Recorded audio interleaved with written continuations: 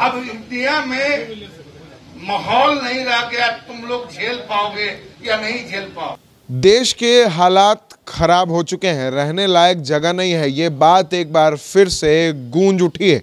आपको बता दें कि लगातार जो बॉलीवुड के तमाम सेलिब्रिटी हैं, वो देश के हालात को खतरनाक बता रहे थे। और अब ये बात एक बार फिर से कह रहे हैं राजद के वरिष्ठ नेता अब्दुल बारी सिद्दीकी और एक पिता के तौर पर उन्होंने अपने बच्चों से अपील किया है कि भारत वापस ना आए। भारत रहने लायक जगह नहीं। क्या कुछ कह रहे हैं? राजद के वरिष्ठ नेता अब्दुल बारी सिद्दीकी, पहले हम आपको वो सुनाते हैं। मैं एक अंतिम, में आखिरी में एक शेयर करके अपनी बात खत्म कर देता हूँ।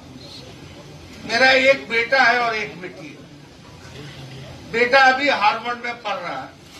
बेटी लंदन स्कूल ऑफ़ इकोनॉमिक्स से पास आउट कर चुकी तो जो देश का माहौल है अब आप कहिएगा, भाई, आप तो खुद हो यहाँ तो हमने कहा अपने बेटा बेटी को कि नौकरी कर लो उधर ही।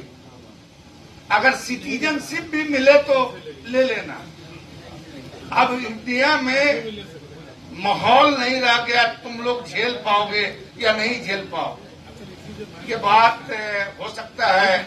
आप समझ सकते हैं कि कितनी तकलीफ़ से आदमी ये बात अपने बाल बच्चों को कहेगा कि अपना मातृ वतन अपनी मातृभूमि को छोड़ ये दौर आ गया सीधे तौर पर राजद के वरिष्ठ नेता ने कहा कि मेरा एक बेटा और एक बेटी है।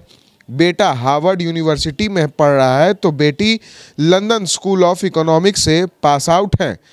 और जो देश का माहौल है, उसको लेकर हमने उनसे कहा है कि उधर की ही सिटीजनशिप ले लो और नौकरी भी उधर ही कर लो। वहीं उन्होंने ये भी बात कह दी कि आप सोच सकते हैं कि एक पिता के लिए इस तरह की बातें कहना कितना मुश्किल है, कितना हृदय विदारक है, लेकिन जो देश के हालात हैं, उस हिसाब से अब यहाँ वापस लौटना ठीक नहीं होगा।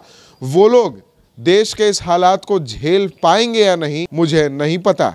कहीं ना कहीं अब राजद के वरिष्ठ नेता अब्दुल बारी सिद्दीकी के इस बयान पर ज़रूर सियासत गरमा चुकी। ऐसे ही तमाम खबरों के लिए बने रहे दैश न्यूज़ के साथ और देखते रहे दैश न्यूज़